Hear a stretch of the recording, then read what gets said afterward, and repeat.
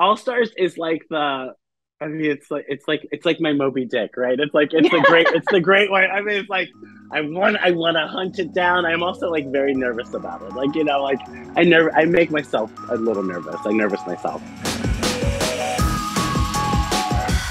Hey everyone, I'm Anna Rumor with Pop Culture, and today I have with me America's sweetheart himself, Andrew Levitt, aka Nina West. How are you? I'm so good, Anna. How are you? I'm so good. I'm so excited to be talking with you. I'm a huge fan, and I, am super excited for the premiere of your book. We're just a couple days out from the You Kind of Kind. I know. I'm really excited. It's kind of a it's this tremendous pinch me moment. I can't believe it's finally here. It's been three years in the making. So I'm just really glad it's finally getting to see the light of day. and it is so cute. Like, tell me a little bit about the message of the book, where it comes from, what it was like to bring it to life, and, and that kind of thing. Yeah, you know, well, I wrote the book in a really different, I mean, a similar point in time, but I, I, was not aware of how relevant the book would be to being published right now in this kind of in this climate that we're facing in our country. Uh, but the book is all about allowing um, young readers and a young audience to discover that kindness is not only cool, but there's a variety of ways you can find kindness, and in fact, you yourself have your very own special kind of kind, which is, you know, how you show kindness to others, how you show respect to others, and how you show a kindness and respect to yourself. Yeah, I mean, it's it feels revolutionary in the way that it talks about kindness, especially when addressing, you know, young readers. Why do you feel like it is so important to be published right now? Well, you know, I think um, you know, it's so important to be published right now because we're experiencing a lot of different divisive or um, kind of like hateful commentary regarding people who might be different. And um, i'm one of those people you know who's who's different. And um, in my own storytelling um, you know the as a messenger of hope and as a messenger of, of trying to give kindness and love to the world i think it's a message that regardless of where the message is coming from, it's so important to receive it. And um, so, you know, I'm here to help. I think our our queer families and families of queer student of kids, queer kids, come to um, you know, a place of comfort and um, a place of safety, and you know, express uh, how they themselves share kindness with the world. And I think that that, but this is a universal theme, and it's a universal story. And the book is I think uh, universally, eh, you know, uh, re- receptive and re- can be received. And um, it's exciting to, I think, be a part of this movement. And it is a movement, right? You know, where, mm-hmm.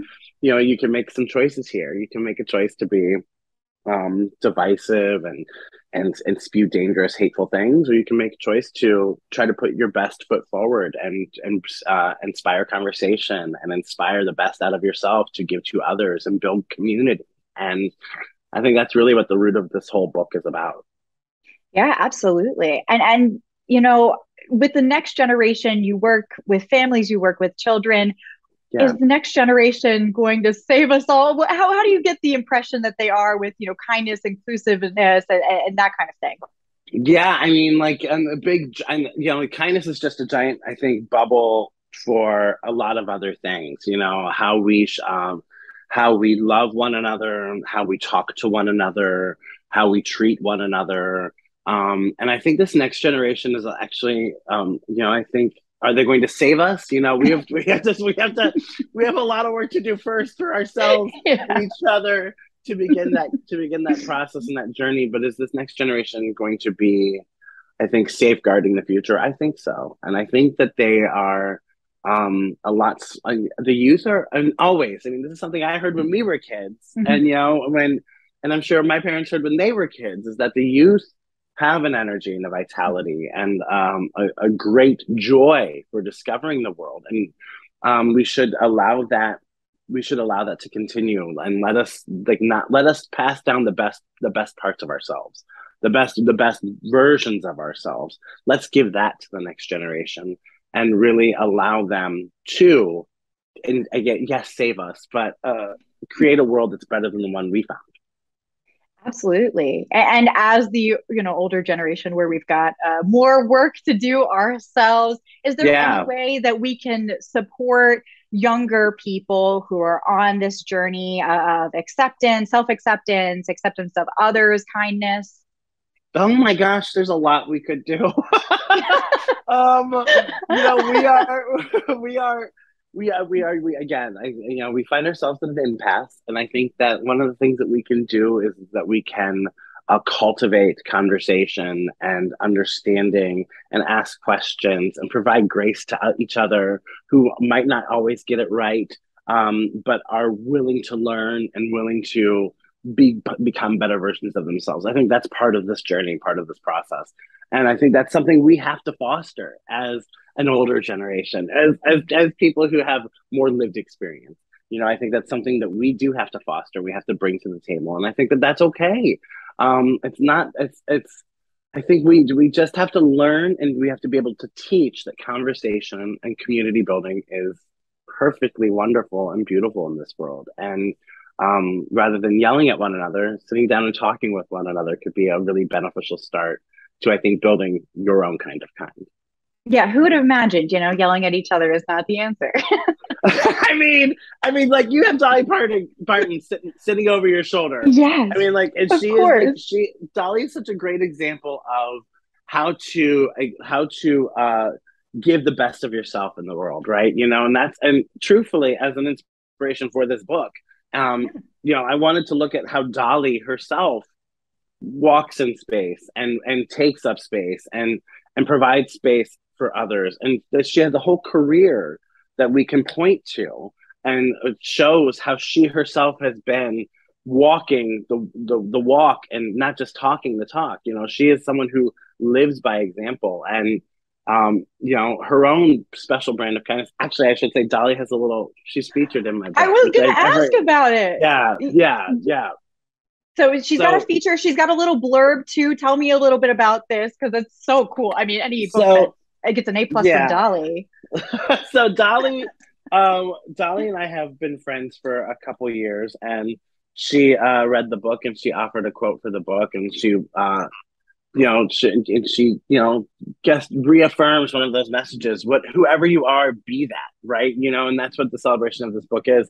And when we sent the book to Dolly, I, I, she didn't know at the time, but she's well aware now that we even have like a tribute to Dolly in the book as one of our oh. heroes. Of, as one of our heroes of kindness within the story. And so the brilliant illustrator Hayden Evans brought to life um, some of my own very heroes and champions of kindness. And I, I'm like really excited to be able to share that with the world and you know with Dolly. Dolly is um again I she was just so receptive to this project and just like um just was cheering me on and, and here I am. So I'm really grateful to I who I call the Queen of Kindness for you know you know blessing me with her her love and her kindness in this world.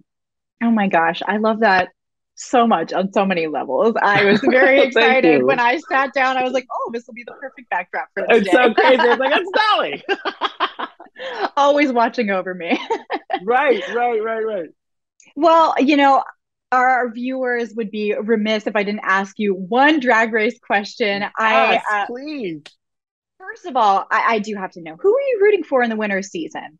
Oh my gosh! For this, which for this Canada, this Canada versus the world, yeah. the, mm-hmm. this season, the newest yeah. one that's just launched. You know, I have I've got season eleven sisters on the season, so I have to cheer on Silky and Ra'Jah because those are those are my sisters. We we went through the original together on eleven, so um, they're going to keep it eleven legendary. They are going to yep. serve. I know that, and of course, you know you got. I mean, I she doesn't need any rooting for, but Brooke Lynn Hytes, another season eleven sister, oh yeah, host who hosts you know, she is absolutely fierce. And um, there is such, it's awesome to watch how our season has really, I think, um, spawned a lot of stars, you know, and like, mm-hmm. and people who are doing their very own thing. And Ra'Jah and are two of those wonderful, wonderful sisters who are crushing it. And I can't wait to see what they do in the season. Oh, me too. Me too. I'm a Ra'Jah stan, so I'm I'm right. Excited. I know she's so fierce. She is everything. She is. She's everything. She is. Well, and uh, the last question is, you know, All Stars is uh, coming back around. It seems like there's like five seasons a year now. Would you ever do a season of All Stars? I know we all want you there.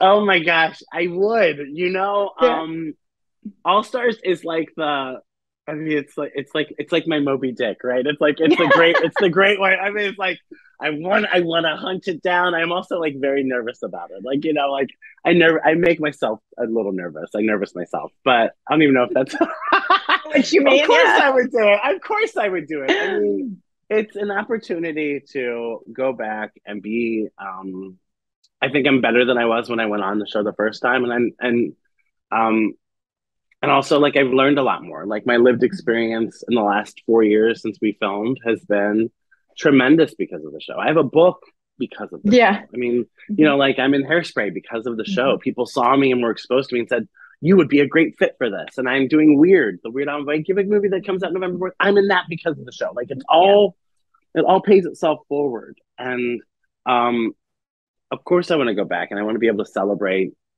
the version of myself that was when I was there and the version of myself I am now.